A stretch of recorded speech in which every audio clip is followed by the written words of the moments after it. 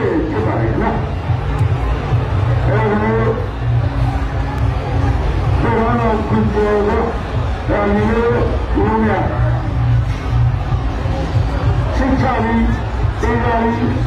အန္တရာယ်ကြီးနေတဲ့တောနာကြီးဆိုမှညံရဆိုတဲ့တော့ပြီးရှိပြရမှာဖြစ်ပါလေအဲဒီဆိုအပြီးတော့ပြီးလဲမှာပြောဖြစ်ပါလေ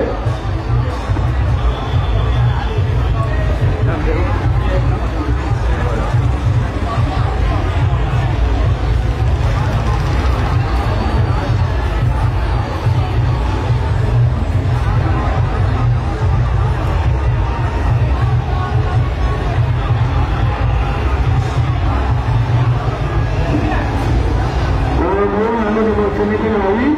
और अगर ना चुनाव आएगा चुनाव सीने चुनाव कानून में सरकारी राजनीति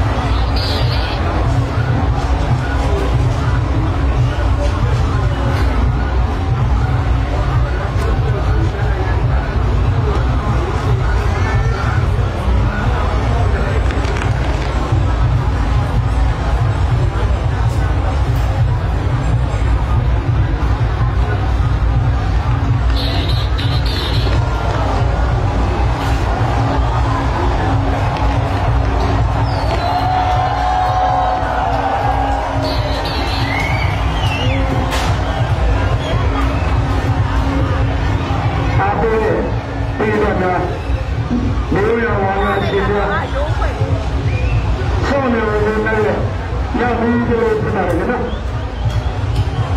ကျွန်တော်တို့အနေနဲ့ကအဘိဓိမြတ်ရဲ့ဒါနာဒိဋ္ဌိကိုဗျာကျွန်တော်မြင်တဲ့လူတွေကတော့တော့ငါပဲအဲ့လိုကြာနေပါလေအဲ့တော့ကျွန်တော်တို့ဒီလို